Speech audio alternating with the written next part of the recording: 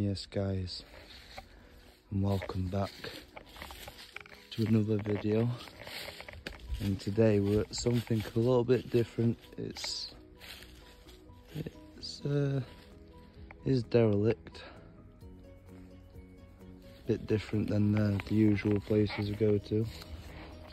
Apparently the story is uh, a woman apparently lived here over 50 year 50 years ago. Apparently in the 1960s a woman used to live in these woods in this house. And here we have it. It's in a bit of a state of disrepair. Bear with me a sec.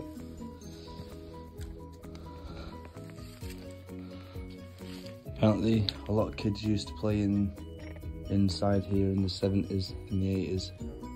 Look at that guys. Upstairs floor. Very well created as well. Uh, so yeah, steel, concrete and wood was made. Uh, was used to make this, should I say.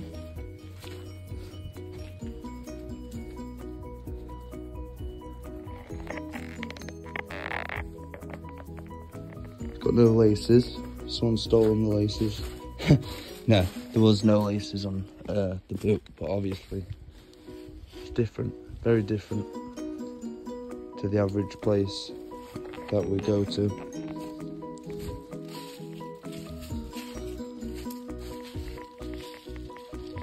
Just amazing. Absolutely amazing. Obviously, I'm not going to give out the location, but obviously people know where we are in terms of the island. A little concrete toadstool.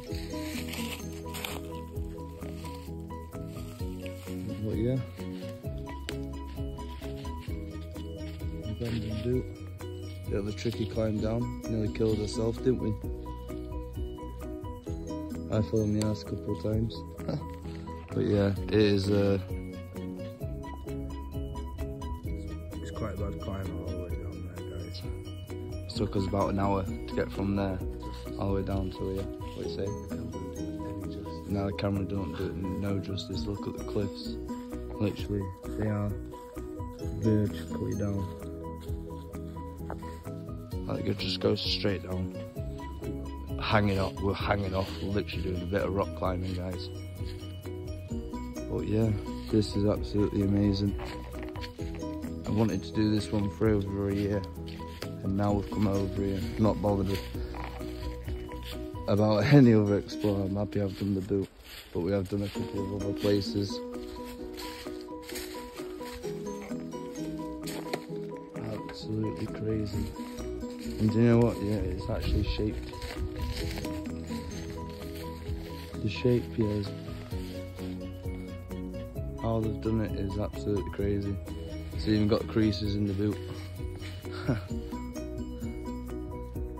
but yeah, short video for you guys today. Hope you enjoyed it. Make sure you like, share, and uh, subscribe to the channel.